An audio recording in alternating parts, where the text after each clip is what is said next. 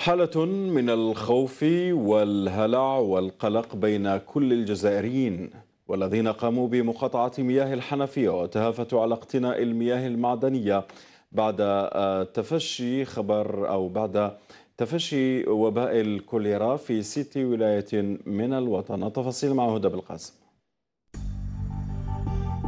رغم تطمينات وزارة الموارد المائية التي مفادها بأن مياه الحنفية سليمة وصالحة للشرب إلا أن المتجول في المراكز والفضاءات التجارية يصطدم بحالة الهلع التي جسدت من خلال الإقبال غير المسبوق على المياه المعدنية التي أصبحت عملة نادرة بل وتباع بعيدا عن الأضواء. مياه الحنفية مياه صالحة للشرب. المياه الحنفية الموزعة من طرف شركة سيال في, الج... في ولاية الجزائر وولاية بازا صالحة للشرب. لأن هناك تحاليل يومية.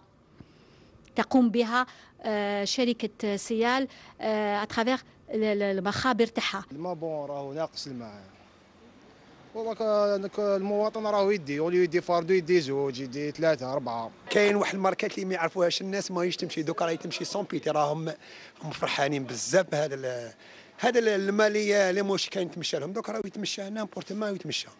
كانوا يدومونديو قديله يوكوس لالا خديجة. دوكا يحوس غير الماء pourvu que c'est الماء كل واحد كاين اللي كان يدي pack قرعه دوكا يدي deux fardeaux trois fardeaux. كاين اللي يدي بالخمسة بالسته كاين اللي يدي 10 كاين اللي يدي 12 الصدمة الكبيرة والهلع اللذين أصابا الجزائريين جراء إعلان عودة وباء الكوليرا جعلهم يتخذون إجراءات احتياطية من تلقاء أنفسهم. أهمها مقاطعة مياه الحنفيات عملا بقاعدة الوقاية خير من العلاج. في با كونفيونس تاع تاع الروبيني علاش ما تشربوش؟ تونسون باش يجي. خاطر يجي صفار خاطر يجي كحل خاطر يجي كل خطرك باش يجي. كاع نخافوه يا خونا بلي الماء تاع روبين زدنا اكدنا بلي الماء صح؟ تاع روبين اللي ما مليح. الثقه ما كانش باش تقول لي ثقة ما كانش ثقة. دوك إحنا رانا ما يقولوا لنا ماء تاع العين مليح نشربوا تاع من النيران ابدا ملي سمعنا الكوليرا ماناش نشربها. أنا نشرب سعيدة راكي تلاحظي فينا نشرب سعيدة وصح نديرو. آه كان شوية واليوم راه شوية صابه آه وناقص راه في ندرة كبيرة يعني الماء